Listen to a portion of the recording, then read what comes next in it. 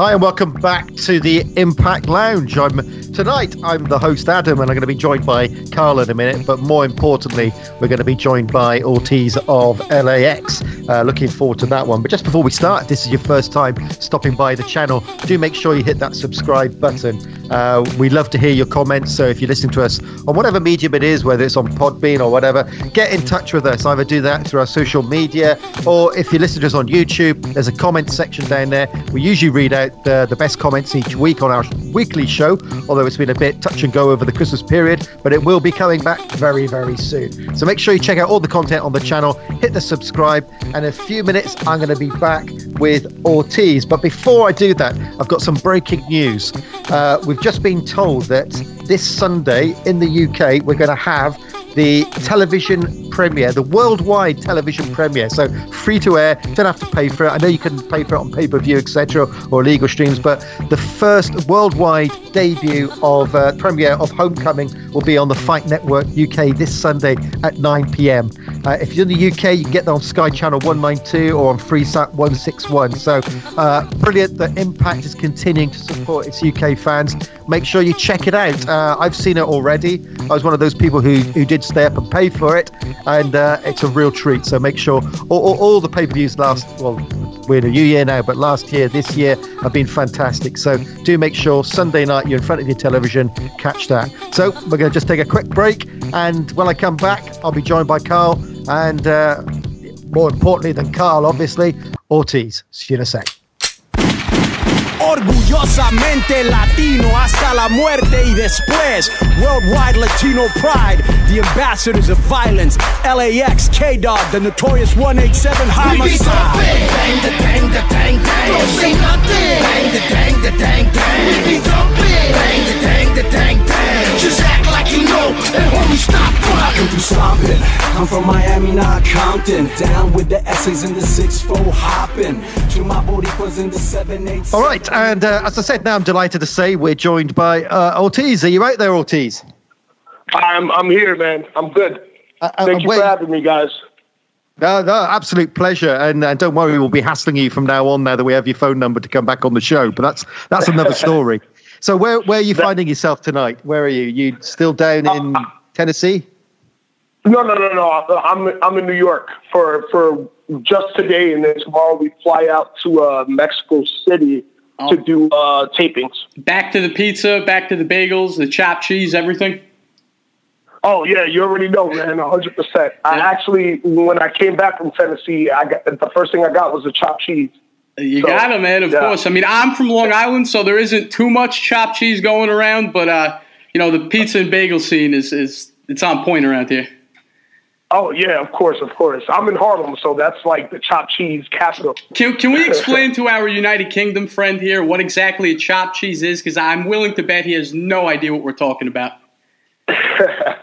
So it's uh, you usually get it at like a bodega or like a, a corner store, a deli, and um, it's just uh, it's it's a cheeseburger essentially, but it's chopped up. It's it's it's uh, ground beef chopped up on a hero with like cheese. It could be American, Swiss, whatever you like, like mayonnaise, and it's essentially a, a hamburger or a cheeseburger on a hero. And that's pretty much what it is. It's like our version of the Philly cheesesteak. Now, could you shout out the official LAX bodega of choice, like where you guys go? Because I know Hajji's, I know all the famous spots, but where does, where does LAX roll up for their chopped cheese? Uh, I don't know the official spot. I mean, for me, it, it's called Jose's. He's trying to get a free one next time he goes in by saying, Nah, nah. I need to know, man. The life of LAX. I need to know how they roll in the streets, man. "Well, look, You're we've only got man. tw- You're a smart man. We've only got 20 minutes tonight, and although I love chopped meats and cheese, and I'm actually going to be thinking about that while I sleep tonight, uh, I think our listeners, uh, I'm sure they do want to hear about food stuff, but uh, we Oh we yeah, need to cover talking some other about stuff wrestling, as well. right? Yeah, the re- the whole wrestling thing. Yeah, yeah. Back to that. Sorry. So anyway, uh, been over in the UK, we haven't had Homecoming yet, but uh, as we've exclusively revealed on the show just before we dialed in, uh, and you know all about this as well, Ortiz, the UK premiere and actually the worldwide premiere on free to air TV is happening this Sunday, isn't it? Yes, yes, yes. At uh, 9 p.m. It uh, is, I think. That's right. It is, uh, yeah, 9 p.m. Yeah. It's Sunday on Fight Network UK. So that's channel yep, 192 yep. on Sky for our listeners. But can I first of all say congratulations because I have actually seen the pay per view, and for me, for my money, and, and hopefully Carl will back me up. But oh, I yeah. thought yours was match of the night. Thank you so much. Uh, I appreciate that. Thank you so much. Uh, we definitely went out there with the intention of uh, trying to have match of the night, and uh, a lot of people said it was. I mean, uh, kudos to everyone on the pay per view. Everybody put in a lot of work, which they always do there's definitely a, a, a, definitely a feeling backstage, and especially when we do pay per views. Everyone is just going out there to try to put on the best match possible, and uh, it, it's great. And it just we we're very fortunate that uh, the, the fans and everybody considered our match out of everyone else's match to be the uh, the match of the night, which is awesome. And um, and, and it, it was kind of hard uh, not to, to to get that uh, match of the night um, nomination being in there with the Lucha Bros. They're they're phenomenal talents. They're on, on another level. We we wrestled them a few times before, and it was very fortunate that we did before we wrestled for the first time with them at a homecoming. So we kind of already built that chemistry with them, and and, and it showed. And uh, just on that, I mean, without a doubt, your career and, and well, Alex is this incarnation of it in Impact over the last couple of years. Everything you've touched has, has just been phenomenal. And by the way, I, we don't say this to all our guests. I'm not just blowing smoke in your direction here. I genuinely believe this. But there's been three fantastic feuds that you've had. You know, with OVE, with um, um, sorry, with the Lucha Brothers, and uh, also with the OGs. what's been your highlight? What, what do you think was the best feud that you've been in so far? Um, whew, that's that, that's a good question. Um, I, I would have to say the OVE feud because that the, the OVE feud is definitely what uh, got us into the limelight. It got us into the spotlight. Um, we were in there. We, we had the opportunity to, to work with people that you know that we were cool with, that we built a relationship with over doing indie wrestling, and then for us to get on a bigger stage and do it for Impact, it was great. And uh, uh, yeah, and then uh, we we had some really rough matches, as you know, with OVE, and uh, I, I wouldn't want to do those type of matches with anyone else other than those guys. To be honest, like the barbed wire match, I whew, never in a million years I thought I'd ever be in a match like that. But uh, yeah, uh, uh, to to be in there with with, with those guys, with uh, people that we consider friends and people that we we trust, uh, trust, and uh, yeah, that that I'll have to give that to OVE for me, in my opinion. I don't know what Santana would pick. Now, just on that note, uh, you said about the danger of the barbed uh, wire massacre match. I was more worried for you at the, during Bound for Glory during those loose boards on the concrete jungle match. that scared yeah, the living bejesus out of me, I tell you. Yeah, yeah, yeah. You and I both. Uh, we uh, uh, just a little insight on that. So we, we never worked out anything it was just the, the guys that set up the ring, they really tried their best. I, I have to give it to them. They tried their best for those boards not to, to pop out of place. But because of them trying so hard, trying to strap everything so tight, to, tight together, at the very beginning, in the entrance, the middle board popped out, and that was it. Game over. It was it wasn't going back in. So then it became like wrestling on J- Jenga blocks. And you were there, Kyle. It was really you? scary. Oh yeah, yeah. No, I was in the second row for the show, and uh, when you guys were doing the entrance, everyone was jumping up and down, and like me and my buddy yeah. Cody looked at each other like, I, I don't know if that's a great idea before the match. yeah, yeah, yeah.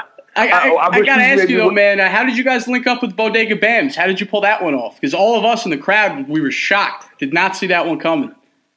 um, uh, very fortunate. Uh, Santana uh, uh, they started messaging each other back and forth on um, on Instagram. Uh, just Bodega is all about the Latino movement, and that's pretty much what he's what we're doing uh, in wrestling. He's pretty much doing that with the hip hop world and trying to do it into pop culture. He wants to, to make it cool to be Puerto Rican, Dominican, to be Latino, and uh, he just got that vibe. He saw what we were doing, and uh, yeah, uh, Santana ended up going to one of his shows in New York, and they just hit it off and became friends.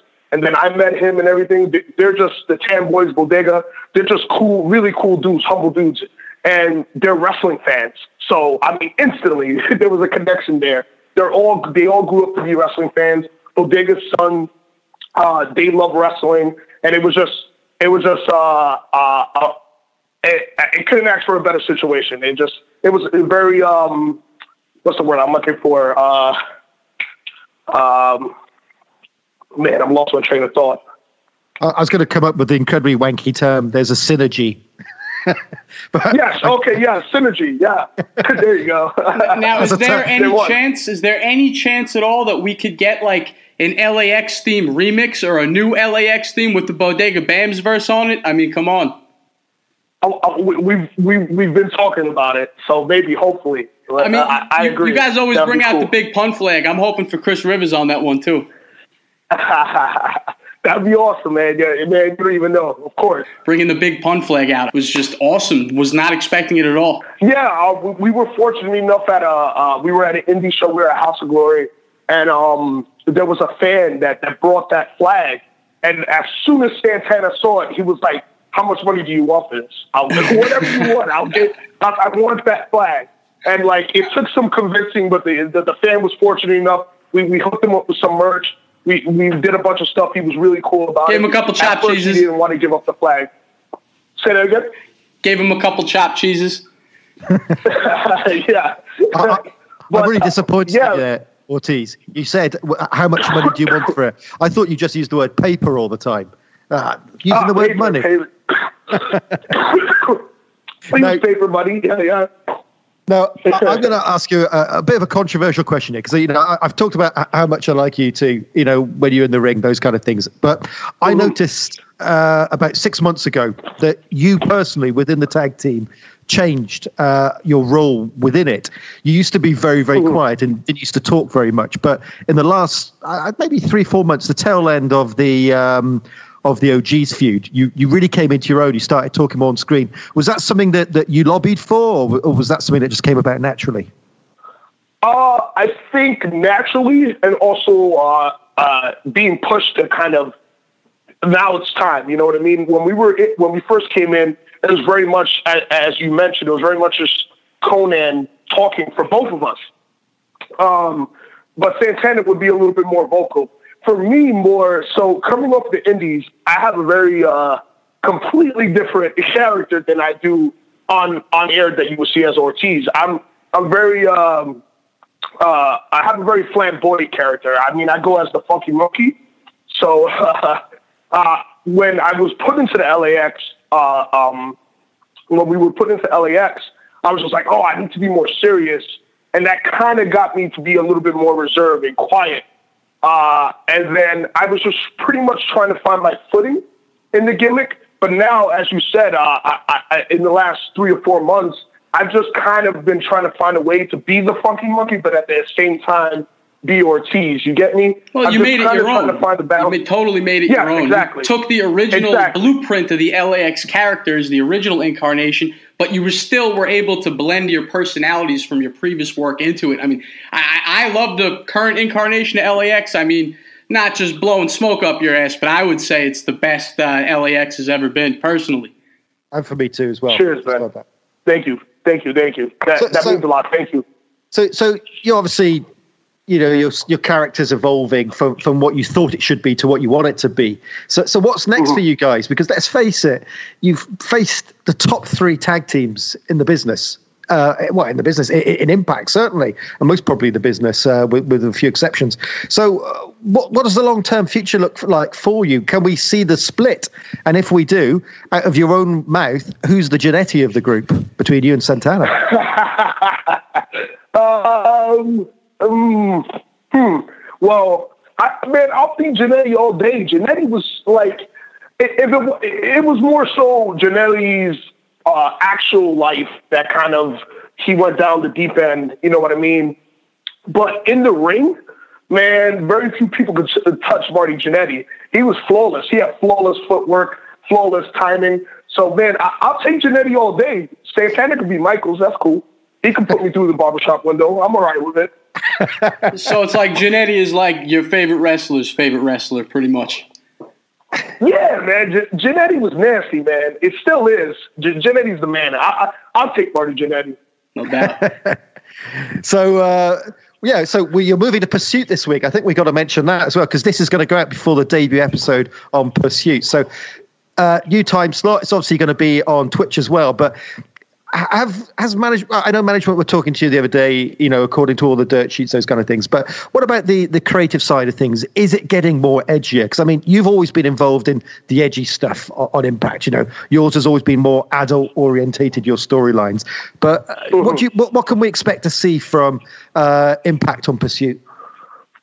Well, the, the biggest thing um, we were actually we we had a, a meeting, uh, all the everybody in Impact uh, and the, the, biggest thing is uh, they have a, a, Anthem has a stake in Pursuit versus if they went to another network, they would have to deal with a lot of uh, restrictions. So being that uh, uh, Anthem has a bigger stake in Pursuit, we, we have a lot more freedom. You, you know what I mean? We don't have to like answer to a third party company or whatever. And um, hopefully that, that shows and reflects. Uh, I mean, we've only done we filmed one episode so far for the uh, Pursuit channel, and then when we go down to Mexico, we'll film uh, we'll film more stuff for it. But uh, uh, yeah, that just it, it just gives us more creative freedom as a whole as a company. And um, yeah, I mean, I, I couldn't tell you only because we've done one episode so far how, how much edgier it's going to get. But uh, I mean, like you said, uh, uh, uh we, we, we've been a part of all the really edgy and crazy stuff, like uh, Richie getting hit by the car. How's Richie doing? And, I was about um, to ask you that, bro. How's Richie doing? Full, full recovery, man. He's great. Good to hear. Good to hear. Yeah, but uh, yeah, I mean, uh, I, I, I definitely uh, uh, uh, the powers that be at Impact. They, they're trying to they're trying to do uh, something. They're trying to we're, we're trying to be the alternative, as you can see. We're, uh, and yeah, and and that comes off every time we do tapings. And uh, we'll we'll see exactly what we can get away with and how far we can go. But uh, you know for sure, for sure, LAX will be right there, uh, right at the line, always. Excellent. So, so I've got to ask the question because the, the same time that you've been doing the tapings, they finished. Did you get a call from um, where was it? Uh, somewhere in Florida. Where was it? Uh, uh, All Elite Wrestling. Did they approach you? I know you don't have to tell me if you're going because you'll break my heart if you are. But did they give you a call? no, sir. We are uh, uh, we we are strictly just Impact Wrestling all day, baby. No, sir. Good to hear. That, that right there, right Impact fans. LAX is Impact. yeah. Yes, sir. Fair enough. Well, we've only got a few minutes left, so Kyle, um, I'll, I'll, let you finish off with a couple of quick fire ones. If you've got anything for for our, for our main man here. Yeah, yeah. I mean, you know me. I'm gonna totally throw it in the left field here. Uh, Ortiz, I was wondering at the pay per view this past uh, week here, uh, during your entrance at the pay per view, you came out with uh, a WCW NWO Revenge hat. I'm an N64 Mark, so like I spotted that hat miles away. I got to know where did you get that hat from? I've never seen that before. Well, this this is if you on Instagram, his Instagram is stash pages and I got it from him. I, I, I was working in the show, and he uh, he actually gave one to me in Santana. And I'm I'm such a video game nerd, uh, just like you, and um, I just was just such a huge. I love No Mercy. I love WCW versus. And then when I got that hat, I was like, oh, I'm wearing this everywhere. And uh, yeah, man, I, I was very fortunate. But stash pages. If you go on his Instagram, he has a link to his website, and I, am pretty sure he has them available in Scully form and all that good stuff. But yeah, I, I was very fortunate uh, uh, to, to get it uh, gifted upon me. I hope he's got some more in stock because I got to get me one of those. I got to swagger jack you for that. nice. Just to, unless you've got another question, I've got one final question for for Mr. Ortiz here. Uh, have you got anything before I ask it? No, no. Wrap it up. Let this man go. Let him go home. Let, let him go home. Okay. well, on, on, that then, let, us create some controversy before we finish up. Then, obviously, LAX. You're the current car, uh, incarnation, and there's been, you know, a lot of people in in the group as time has gone by. You know, we we rated you as as, as the best version of LAX. Where do you rate yourself? As far as the version of LAX. Yeah, I mean, I mean, when people when historians come back in the year 3000 and they dig up the archives and they and they talk about LAX who are they going to be talking about is it going to be you and Santana is it, is it going to be uh, the OGs Machete Um, Machete. well, without without Homicide in Hernandez's original run as LAX, uh, after they got to the machete and uh, and all the other stuff, but once once it was Homicide and Hernandez and, and they took off, their their run was phenomenal. And uh, uh, uh, growing up for us, we were fans of the original LAX. So then when we got the call years later to be the new version of LAX, we were we were ecstatic, man. We, we were just 16 year old kids inside, just being like, "Wow, this is awesome." You know what I mean? And uh, yeah, I, for for me, I, I'm being biased. For me being a fan, I would have to go with, with Homicide and Hernandez, man. Of, of course, they're, they're they're the originators. They're they're the, what made the gimmicks gimmick so popular, and it, it was fortunate enough that years later we were able that to come back because of the body of work that they put in. Uh, but yeah, definitely, definitely the uh, Homicide and Hernandez. just by the way who made that call to you by the way was it was it Konnan I'd like to think it was Konnan who called you I know it wasn't but who called you to, to say you're the new LAX Oh, it was it, it, it was uh, Jeremy Borash when he was still in, but Konnan did call us. Yeah, yeah, yeah, yeah. It was uh, Jer- JB, Jeremy Borash, and uh, Konnan. They, they they were the two. Uh, Konnan actually called Santana on the phone. Like we, it, it, it was. We we never talked to him ever. We never met him. Nothing. And then all of a sudden, just like Santana got a call, and it's like, "Hey, what's up? It's K Dog." And we were like, "What?" Yeah, yeah.